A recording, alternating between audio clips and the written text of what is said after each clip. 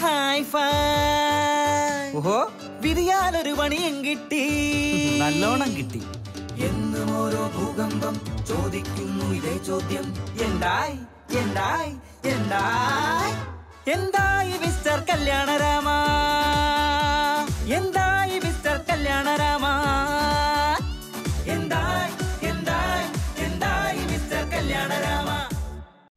മോശപ്പെട്ട കാര്യമാ എല്ലാരും മൃഗങ്ങളെ പോലെ വഴക്കടിക്കുന്നേ. എല്ലാവരുടെ മുമ്പിൽ വെച്ച് സെപ്റ്റംബറിൽ ഹോളി കളിക്കുന്നു. അതും അവരുടെ എല്ലാവരുടെ മുമ്പിൽ വെച്ച്. അമ്മേ ആദ്യം ഇവളോട് ചോദിക്കേ. ആദ്യം എന്റെ മേത്ത് വെള്ളം ഒഴിച്ചത് ഇവളാ. പിന്നെ ഞാൻ ഒഴിച്ചത്? അവൾ നിന്നെ വെടിവെച്ച നീയും തിരിച്ച് വെടിവെക്കുവോ? അമ്മേ.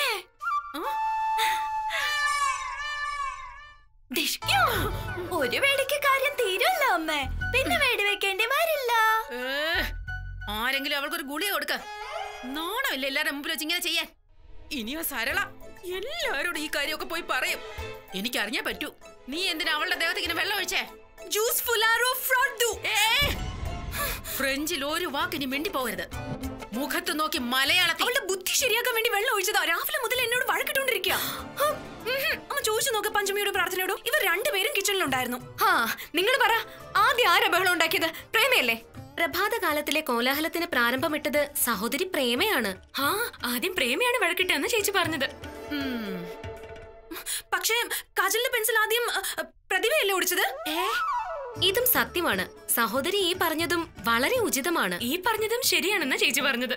അമ്മേ പ്രേമ കാർത്തികേട്ടന്റെ എല്ലാ ഷർട്ടിലെയും ബട്ടൺസ് എടുത്ത് മാറ്റി. അത് ശരിയാണോ? ഇത് തെറ്റാണ്. വളരെ വലിയ കുറ്റകരമായ തെറ്റ്. ഇത് വളരെ വലിയ തെറ്റാണെന്നാ ചേച്ചി പറഞ്ഞത്. ഇതൊക്കെ എങ്ങനെയാണ് പറ്റുന്നത്? ചിലപ്പോ അവളുടെ ഭാഗത്ത് ചിലപ്പോ എന്റെ ഭാഗത്ത്. നിന്റെ ചേച്ചി എന്താ ചണ്ഡിഗഡാണോ? ചിലപ്പോ ഹരിയാനയുടെ കൂടെ ചിലപ്പോ പഞ്ചാബിന്റെ കൂടെ. നിങ്ങൾ ആദ്യം തീരുമാനിക്കേ. ചേച്ചി എന്താ പറയുന്നെന്ന് നോക്ക് എന്തെങ്കിലും ആയിക്കോട്ടെ. പക്ഷെ ചേച്ചിയോട് ഉച്ചത്തിൽ സംസാരിക്കേണ്ട കാര്യമില്ല. ഈ വഴക്ക് കാരണം ചേച്ചിക്ക് പാൽ ചൂടാക്കാൻ ഇതുവരെ കഴിഞ്ഞില്ല. വിശന്നിരിക്കുക പാവേണ്ട ചേച്ചി. നോക്കമ്മേ എല്ലാവരും വിഷമത്തിലാണ്. പ്രേമ ഒരാൾ കാരണം. അത് ശരി. ഇവളുടെ കൺമഷി പെൻസിൽ പൊട്ടിച്ചിട്ട് ഒരു സോറി എങ്കിലും പറഞ്ഞോ? പഠിത്തമുണ്ടായിട്ട് എന്ത് കാര്യമാണുള്ളത്? നിങ്ങൾ എല്ലാവരോടും എന്റെ തലയിലേക്ക് എന്തിനാ കയറുന്നത് എനിക്ക് മനസ്സിലാവാത്തത്. സഹോദരി അതാത് സമയം അതാത് പക്ഷത്തിലേക്ക് ചേരുകയല്ല ഞങ്ങൾ ചെയ്യുന്നത്. ഞങ്ങൾ ആരുടെയും ഭാഗത്തല്ല തെറ്റ് രണ്ടുപേരുടെയും ആണെന്നാ ചേച്ചി പറഞ്ഞത്. ചേച്ചിയോട് പറ തെറ്റ് ഞങ്ങൾ രണ്ടുപേരുടെയും ഭാഗത്തല്ല എന്ന്. ഭഗവാനെ ഓർത്ത് സ്നേഹത്തോടെ നമ്മുടെ കർമ്മത്തിന് വേണ്ടി ഈ ഭവനത്തെ ശാന്തമാക്കൂ. ശാന്തി. ശബ്ദം ഇത്രയും ഉയർത്തേണ്ട കാര്യമില്ലെന്നാണ് ചേച്ചി പറഞ്ഞത്. അയ്യോ നീ നിന്റെ ചേച്ചിയോട് ആദ്യം പറ കൂടുതൽ ജഡ്ജി ആവാൻ നോക്കണ്ടത് ഇത് തെറ്റ് അത് തെറ്റ് ആരുടെ തെറ്റാണ്? തെറ്റ് ആരുടെയെങ്കിലും ആയിക്കോട്ടെ. ഗംഗയിൽ കുളിക്കാൻ രണ്ടുപേരും പോയിട്ടുണ്ടല്ലോ. അത് അത്ര നല്ല കാര്യമല്ല. എന്താ പറയുന്ന പഞ്ചമി? ഗംഗാ സ്നാനം എത്ര നല്ല കാര്യമാ ബ്ലും ചിലരുടെ പാപം കഴുകി പോവും ചിലര് പാദം കഴുകി പോകും. ക്ഷമിച്ചാലും ഞാൻ വളരെ ടെൻഷനിലാണ്. തമാശ പറഞ്ഞില്ല. പറഞ്ഞത് ഞാനാണ്. പഞ്ചമി ഞാൻ എപ്പോഴാ തമാശ പറഞ്ഞേ? തമാശ പറയുന്ന പ്രേമയാ കാർത്തികേട്ടനോട്. എന്നും ഫോൺ ചെയ്ത് ചിരിച്ചോണ്ടിരിക്കല്ലേ? നീയുണ്ടല്ലോ? ഇടയിൽ കയറി മറ്റു പരാതികളൊന്നും കൊണ്ടുവരണ്ട. എനിക്ക് പരാതിയുണ്ട്. ഇവളോട് ഇവളോട് ഇവളോട് ഇവളോട്. അത് കൂടാതെ എന്നോട് തന്നെ എനിക്ക് രണ്ട് പരാതിയുണ്ട്. അത് ശരി. അങ്ങനെയാണെങ്കിൽ എനിക്കുണ്ട് ഒരുപാട് പരാതി പറയാൻ. പറയട്ടെ ഞാൻ. അപ്പൊ എന്റെ കയ്യിൽ നിന്റേതിനേക്കാൾ കൂടുതൽ കാണും. എന്നാ ചേച്ചി പിന്നിലല്ല. ചേച്ചിയുടെ കയ്യിലും കുറെ കാണും. ആ മതി മതി. പരാതി പരാതി പരാതി പരാതി. ഇതിപ്പോ ദീപാവലിക്ക് പടക്കം പൊടിക്കുന്ന പോലെയാ. ഒറ്റ ഒരെണ്ണം മിണ്ടി പോകരുത്. പക്ഷെ അമ്മ എനിക്ക് ആരും പടക്കം തന്നില്ല ദീപാവലി ആരും ഒരു അക്ഷരം മിണ്ടി പോകരുത്. എന്തിനാ അടിച്ചിരിക്കുന്നേ അമ്മ സംസാരിച്ചോ? എല്ലാരും അവരുടെ മുറി പൊക്കണം.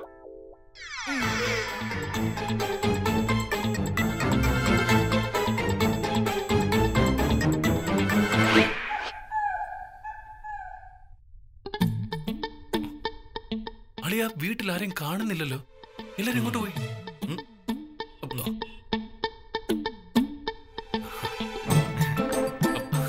അല്ല ബാക്കിയുള്ള ഭക്തി മൂത്ത് മൈൻഡ് ചെയ്യാതായോ?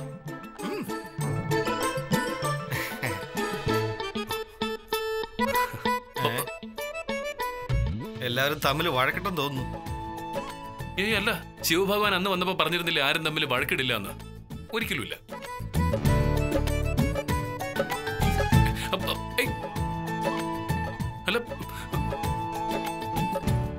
ഇവളോട് ചോദിച്ചു നോക്കാം. ആ. അല്ല പ്രേമേ ബാക്കിയുള്ളവരെല്ലാരും എങ്ങോട്ട്?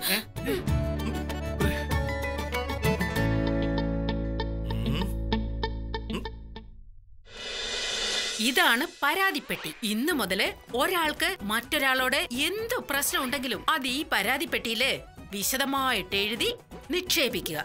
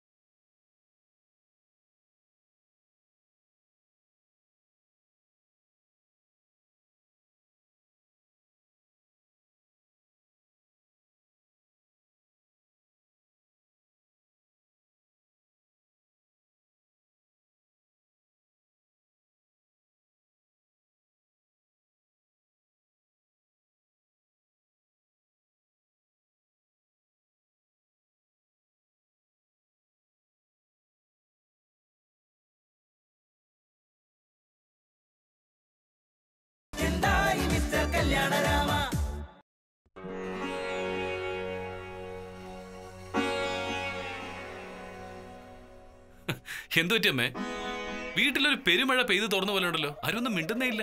ഇന്ന് ഈ വീട്ടിലെ മഹാഭാരതമായിരുന്നു. മഹാഭാരതോ?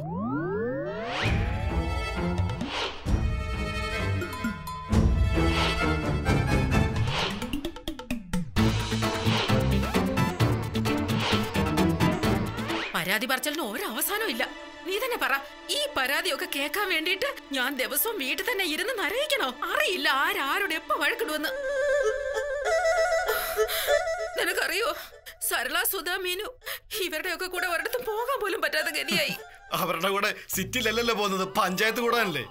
ഞാൻ കണ്ടിട്ടുണ്ട് അവിടെ പോയി പൂരിയൊക്കെ കഴിച്ച് വാചകം അടിച്ച് കറങ്ങി നടക്കുന്നത്. എല്ലാം ഉപേക്ഷിച്ച് സന്യാസിയായിട്ട് ഈ വീട്ടിൽ തന്നെ അങ്ങ് ഇരുന്നാ മതിയോ? സന്യാസിയാണെങ്കിൽ ഹിമാചലിൽ പോണം. ഹിമാചലല്ല അളിയ? ഹിമാലയം. അളിയ അമ്മായിക്ക് മുട്ടുവേദനയൊക്കെ ഉള്ളതല്ലേ?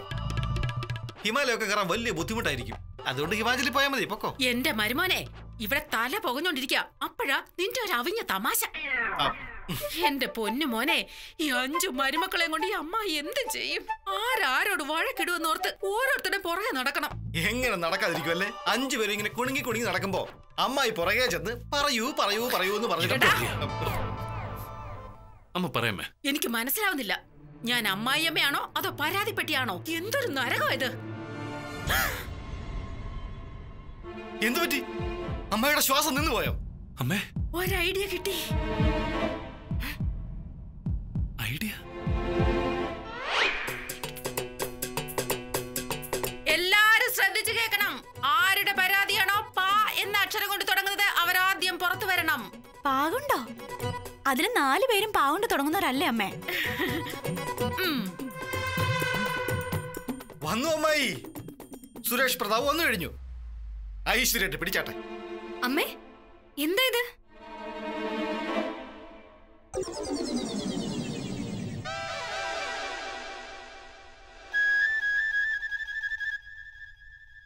ഇതാണ് പരാതിപ്പെട്ടി ഇന്ന് മുതൽ ഒരാൾക്ക് മറ്റൊരാളോട് എന്തു പ്രശ്നം ഉണ്ടെങ്കിലും അത് ഈ പരാതിപ്പെട്ടിയിൽ വിശദമായിട്ട് എഴുതി നിക്ഷേപിക്കുക. ഞാൻ അന്നന്ന് തന്നെ നേരം വെളുക്കുന്നതിന് മുമ്പ് ഈ പരാതികൾക്ക് സമാധാനം ഉണ്ടാക്കിയിരിക്കും. വാ എന്നും കൂടിക്കാഴ്ച ഉണ്ടാകും മിണ്ടരുത്.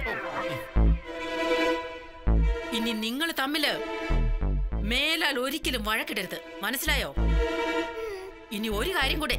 ഇനി ആർക്കെങ്കിലും മനസ്സിൽ പരാതി ഉണ്ടെങ്കിൽ പരാതി എഴുതുന്ന സമയത്ത് ആ ആളിന്റെ പേരെഴുതേണ്ട ഒരാവശ്യവും ഇല്ല. അമ്മായി എനിക്ക് ഇനി ആരോടെങ്കിലും പരാതി ഉണ്ടെങ്കിൽ ആ ആളുടെ പേരെഴുതി ഇതിലിടാവോ? തമാശ പറയാതെ മര്യാദയ്ക്ക് ഈ പെട്ടി ഉണ്ടല്ലോ അവിടെ കൊണ്ടുപോയി വെക്ക.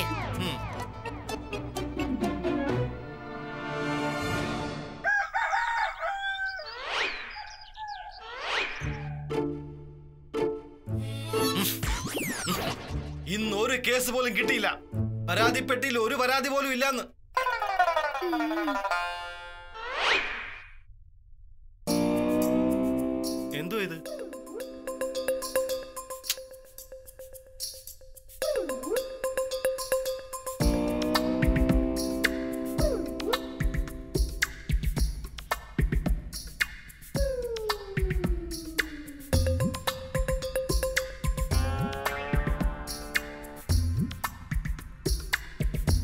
കൊള്ളാലോ അമ്മേ. ഇന്ന് അമ്മയുടെ അഞ്ചു പേരും ടി വിയുടെ മ്യൂട്ട് ബട്ടൺ പോലെ ആയല്ലോ.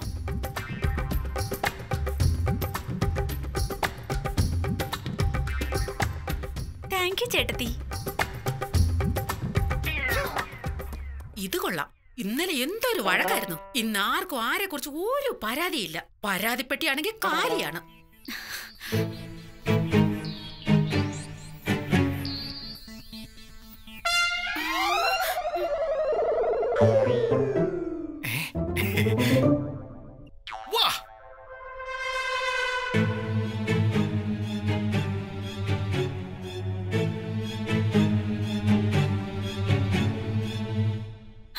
ദാണ്ടേ ഇത് ചേട്ടത്തിയുടെ ബുദ്ധിയുടെ പടം വരച്ചിരിക്ക.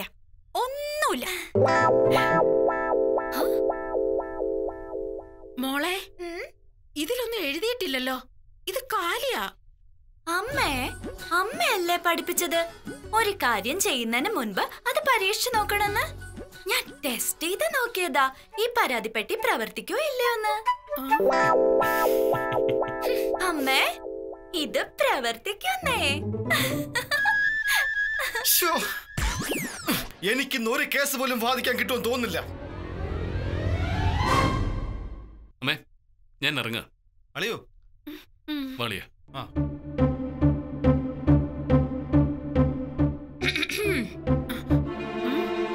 എന്തു പറ്റി? ചായ ഒക്കെ തന്നല്ലേ ചായയല്ല എഴുത്ത്. പരാതി എഴുതിയിടാൻ വന്നതാ. ചേച്ചി പറഞ്ഞയച്ചതാ.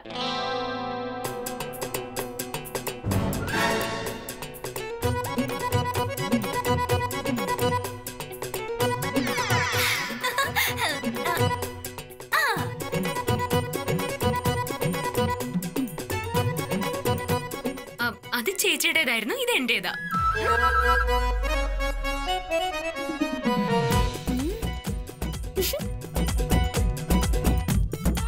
അപ്പൊ ഇതാണ് ആദ്യത്തെ പരാതി പഞ്ചമ ചേട്ടത്തിയെ പറ്റി. നാളെ മുതൽ ആട്ടയും മഞ്ഞളും ഒക്കെ കയ്യിൽ പുരണ്ട അത് തുടച്ചിട്ട് വേണം അടുക്കളയിൽ നിറങ്ങാൻ ഇറങ്ങാൻ. ആരുടെയും വസ്ത്രം അഴുക്കാകാൻ ഇടയാകരുത്. അവിടെ ഒരു ചെറിയ ടവൽ തൂക്കിയിട്ടിരിക്കണം. അമ്മേ ആട്ടയും മഞ്ഞളും എന്റെ കയ്യിലെ മെഹന്തി പോലെയാണ്. കൈ കഴുകിയാലും അത് അവിടെ തന്നെ ഇരിക്കുന്ന പോലെ തോന്നും. നെക്സ്റ്റ് സുന്ദരി ചേട്ടത്തി. എടി ഇങ്ങോട്ട് നോക്ക്.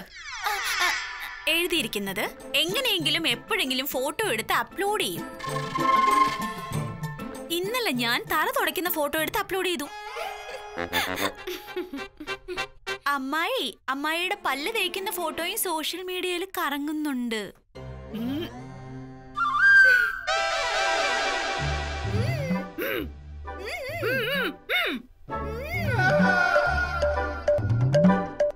അമ്മേ. നാളെ മുതൽ ആരോടും ചോദിക്കാതെ അവരുടെ ഫോട്ടോ എടുത്തേക്കരുത് നീ. മനസ്സിലായോ? മനസ്സിലായോ അമ്മേ. പക്ഷെ അമ്മ അമ്മ പറയേണ്ടത് എങ്ങനെയാ? Name address phone number height weight next Pratibha ചേട്ടത്തി എഴുതിയിരിക്കുന്നത് ഇവരുടെ പുസ്തകങ്ങൾ വീട്ടിലെല്ലാ സോഫ ടേബിൾ ചെയർ ഇവിടെ എല്ലാം കിടക്കുന്നു. ഞാൻ കോഫി അവിടെ വെക്കും. അമ്മ പറയൂ ഞാൻ കോഫി കുടിക്കുന്നത് നിർത്തണോ അതോ പുസ്തകം വായന തുടരണോ? ഇനി മുതൽ നിനക്ക് പുസ്തകം വായിക്കണമെന്ന് തോന്നിയാ. നീ നിന്റെ മുറി തന്നെ ഇരുന്ന് പുസ്തകം വായിച്ചോണം. പക്ഷെ അമ്മ ഞാൻ ഒരു ദിവസം ഒരുപാട് പുസ്തകങ്ങൾ വായിക്കുന്നുണ്ട്. അതെങ്ങനെ പലയിടത്തും വെക്കുന്നത് ഞാൻ എവിടെ ഇരിക്കുന്നു അവിടെ ഇരുന്ന് വായിക്കും. അങ്ങനെയോ? അങ്ങനെയാണെങ്കിലേ ഒരു സ്കൂൾ ബാഗ് പുറത്ത് തൂക്കിയിട്ടുണ്ട് പുറത്തിറങ്ങിയാ മതി. നിനക്ക് എപ്പ വായിക്കണം തോന്നോ അപ്പ വായിച്ചു. നീ പോ പ്രാർത്ഥന ചേട്ടത്തി. പരാതി ഇതാണ്. രാവിലെ നാല് മണിക്ക് ശംഖൂതി ആരാധിക്കുന്നത്? എനിക്ക് മാത്രമല്ല കോഴിക്ക് പോലും ഉറങ്ങാൻ സാധിക്കില്ല. അതുകൊണ്ട് അഞ്ചു മണിക്ക് കോഴിക്ക് ഉണരാൻ പറ്റുന്നില്ല. മോളെ ഈ ഭക്തി ഉണ്ടല്ലോ നിന്റെ മനസ്സിന് ശാന്തി നൽകും. മറ്റുള്ളവരുടെ മനസ്സിന്റെ ശാന്തി കളഞ്ഞുകൊണ്ടാകരുത്. ഇങ്ങനെ ശിവഭഗവാൻ പറഞ്ഞിട്ടുണ്ട്. അതുകൊണ്ട് നാളെ മുതൽ ശംഖ് കുറച്ച് പതുക്കെ ഊതിയാ മതി. ആവശ്യം മനസ്സിലാക്കുന്നു. ഈ പശ്ചാത്തലത്തിൽ ആരാധനാ സമയം അരമണിക്കൂറിന് ശേഷം ആരംഭിക്കാൻ തീരുമാനിച്ചിരിക്കുന്നു. ശരി അരമണിക്കൂർ കൂടി കഴിഞ്ഞ് പ്രാർത്ഥന തുടങ്ങിക്കോളാം എന്നാ ചേച്ചി പറഞ്ഞത്. എന്നാ നിന്റെ ചേച്ചിയോട് പറ. ആറു മണി കഴിഞ്ഞ് മതി. നെക്സ്റ്റ് പ്രേമ ചേട്ടത്തി എത്ര പെട്ടെന്ന് ഐസ്ക്രീം തീർന്നു പോകുന്നു? അത്ര എളുപ്പത്തിൽ അവരുടെ ലിപ്സ്റ്റിക് തീർന്നു പോകുന്നു. ആരോടും പറയാതെ എന്റെ ലിപ്സ്റ്റിക്കും തിന്ന് തീർക്കും. അല്ല എടുത്തോണ്ട് പോവും. അമ്മ എന്തെങ്കിലും ഒരു പരിഹാരം പറയൂ അമ്മയുടെ സുന്ദരി.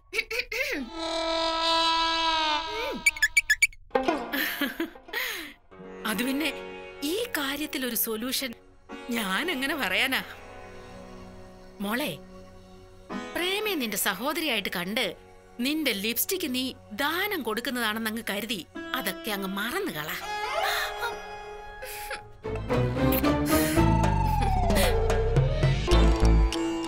മക്കളെ. ഞാൻ ആഗ്രഹിച്ചതുപോലെ നിങ്ങളുടെ പരാതികളെല്ലാം ഞാൻ പരിഹരിച്ചതുകൊണ്ട് എനിക്ക് അഭിമാനം തോന്നുന്നു. പിന്നെ എനിക്കൊരു അപേക്ഷയുണ്ട്. ഇനി മുതൽ എന്ത് കാര്യമുണ്ടെങ്കിലും എന്റെ പുറകെ നടക്കണ്ട. അതിന്റെ ഒരു ആവശ്യമില്ല ഇനി എന്ത് പരാതി ഉണ്ടെങ്കിലും ആ പരാതിപ്പെട്ടിയിൽ നിക്ഷേപിക്കും. ഈ അമ്മ എല്ലാ പരാതിക്കും പരിഹാരം കാണുന്നതായിരിക്കും. നന്ദി. ഞാൻ പത്ത് മിനിറ്റ് കൊണ്ട് എല്ലാവരും പരാതി കേട്ട് എല്ലാത്തിനും ഒരു പരിഹാരം ഉണ്ടാക്കി കൊടുക്കുകയും ചെയ്തു. എന്റെ മോനെ നീയും വിശ്വസിക്ക് നിന്റെ പരാതിക്കും തീർച്ചയായിട്ടും പരിഹാരം കിട്ടും. എന്ത് പറയാനാ അമ്മേ? അമ്മയുടെ പരാതിപ്പെട്ടി ഇത്ര പെട്ടെന്ന് വർക്ക് ചെയ്ത് തുടങ്ങി ഇപ്പൊ ശരിക്കും ശ്വാസം എടുക്കാൻ പറ്റുന്നു. നന്ദി ഈശ്വര. അമ്മേ. എന്ത് പറ്റി? കംപ്ലൈന്റ് ബോക്സ് പിന്നെ നിറഞ്ഞു. ആ?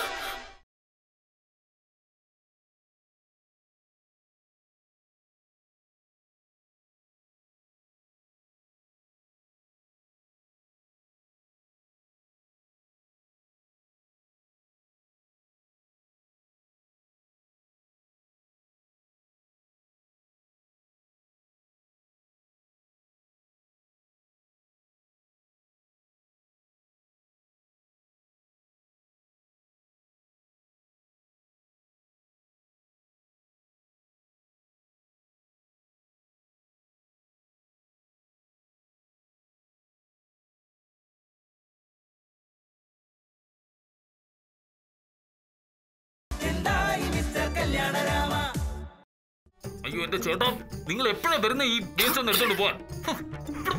നാട്ടെ കൊണ്ട് നിൽക്കാൻ വയ്യ മനുഷ്യന്. ഇന്ന് മിക്കവാറും ഈ നാട്ടെ കൊണ്ട് മരിച്ചു വീഴും ഞങ്ങൾ. പെട്ടെന്നൊന്ന് എടുത്തോണ്ട് പൊയ്ക്കോ പ്ലീസ് ഇപ്പൊ വരാന്ന് അതുവരെ നിങ്ങൾ അങ്ങോട്ട് മാറി നിന്നോ. ഇതെടുക്കാം. ഇതല്ല. ഇതെടുക്കാം. അളിയ ഇവനൊന്നും എടുക്കാനല്ല. കണ്ടില്ലേ? നോക്ക് വെറുതെ കിട്ടുന്ന ജ്യൂസ് കയറ്റാനായിട്ട് വന്നതാ. ഇന്ദ്രജിത് ചന്ദ്രഹാസനോടാണോ കളി? ചേട്ടാ വേറൊരെണ്ണം കാണിക്കോ. സൂക്ഷിച്ചു നോക്ക് ശത്രുവിന്റെ ബുദ്ധി.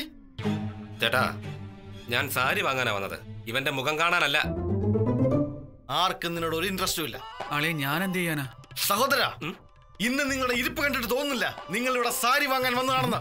സഹോദരി ഞാൻ പറയുന്നത് കേൾക്കൂ സാരിയൊക്കെ വിട്ടിട്ട് ഡിവോഴ്സ് വാങ്ങിക്കേ. പിശുക്കനാണികൾ. ഫ്രീ ആയിട്ട് ജ്യൂസ് കുടിക്കാൻ വന്നതാ. അഞ്ഞൂറ്റൊന്ന് രൂപയ്ക്ക് ഞാൻ ഡിവോഴ്സ് വാങ്ങി മനുഷ്യനോട് കസ്റ്റമേഴ്സിനോട് ഇങ്ങനെയാണ് സംസാരിക്കുന്നത്? എന്ത് സർ അതെ ഇവിടെ ഞങ്ങൾ സാരി വാങ്ങാനാ വന്നത്. പക്ഷേ ഇയാൾ ഡൈവോഴ്സിനെ പറ്റിയാ പറയുന്നത്. അയ്യ- സർ അദ്ദേഹം വെറുതെ പറയുന്ന ആക്ച്വലി ഒരു നാടകത്തിൽ വക്കീലിന്റെ റോളാ ചെയ്യുന്നത്. അതിന്റെ റിഹേഴ്സൽ ചെയ്ത് നോക്കിയതാ. സാർ ഇരുന്നോ? ഇരുന്നോ? എത്ര നേരമായിട്ട് ഈ നാട്ടിൽ സഹിക്കുന്നതെന്ന് അറിയോ ഇത് കടയാണോ അതോ വേസ്റ്റ് കൂനിയാണോ? ഇതിനെ നമുക്ക് പ്രത്യേകം ഡിസ്കൗണ്ട് കിട്ടണം. ഇന്ദ്രജിത് ചന്ദ്രഹാസനോട് ഡിസ്കൗണ്ടിന്റെ കാര്യം പറഞ്ഞ? അകത്താക്കി കളയും ഞാൻ. Rehearsal rehearsal thank you thank you അമ്മേ. എടാ മോനെ ഇതെന്ത് എളുപ്പാടാ. എന്താ അമ്മേ? എന്റെ മോനെ ഈ പരാതിപ്പെട്ടി ഒരു മാന്ത്രിക പെട്ടിയാ. അതെങ്ങനെ? എടാ ഞാൻ പത്ത് മിനിറ്റ് കൊണ്ട് എല്ലാവരും പരാതി കേട്ട് എല്ലാത്തിനും ഒരു പരിഹാരം ഉണ്ടാക്കി കൊടുക്കുകയും ചെയ്തു. എന്ത് പറയാനാ അമ്മേ? അമ്മയുടെ പരാതിപ്പെട്ടി ഇത്ര പെട്ടെന്ന് വർക്ക് ചെയ്ത് തുടങ്ങിയോ? നമ്മുടെ നമ്മുടെ മുനിസിപ്പാലിറ്റിയുടെ കാര്യത്തിൽ ഒരു പരിഹാരം ഇല്ലല്ലോ അമ്മേ. നാട്ടം കൊണ്ട് ഇവിടെ ഇരിക്കാൻ വയ്യ. എന്റെ മോനെ നീയും വിശ്വസിക്ക്. നിന്റെ പരാതിക്കും തീർച്ചയായിട്ടും പരിഹാരം കിട്ടും. ശരി അമ്മേ ഞാൻ ഫോൺ വെക്കുക. നാറ്റം കൊണ്ട് എനിക്ക് സംസാരിക്കാൻ പോലും പറ്റുന്നില്ല. അമ്മ അമ്മയുടെ പരാതിപ്പെട്ടിയായിട്ട് മുന്നോട്ട് വെക്കോ ഇപ്പൊ ശരിക്കും ശ്വാസം എടുക്കാൻ പറ്റുന്നു. നന്ദി ഈശ്വര. അമ്മേ. ആ? എന്ത് പറ്റി? കംപ്ലൈന്റ് ബോക്സ് പിന്നെ നിറഞ്ഞു. എന്നാ വാ.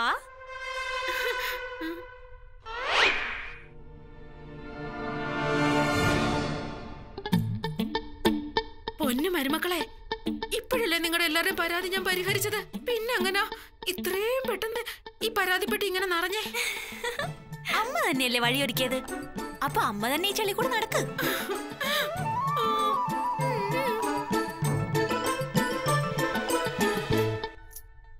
പഞ്ചമിക്ക് മീശ വരുന്നു. എന്തുകൊണ്ടാ അവൾ ത്രെഡ് ചെയ്യാത്തത്? എന്റെ കുസുമം ഇത് എന്തൊരു പരാതിയാ? ഇതെന്തായാലും അമ്മ വായിച്ചേ പറ്റുള്ളൂ. ഇനി മരുമക്കളുടെ പരാതി പരിഹരിക്കുന്നത് കുന്തിയുടെ കടമയാണ്. എന്താ ചേട്ടത്തിമാരെ?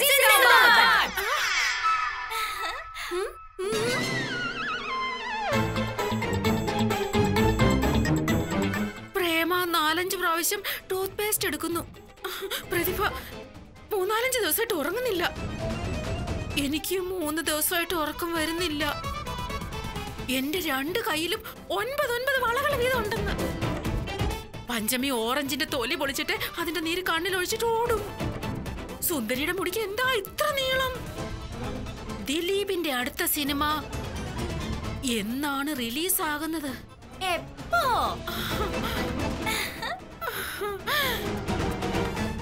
എനിക്ക് തല കറങ്ങുന്ന പോലെ തോന്നുന്നു. അയ്യോ അമ്മേ! അമ്മേ! ഏ,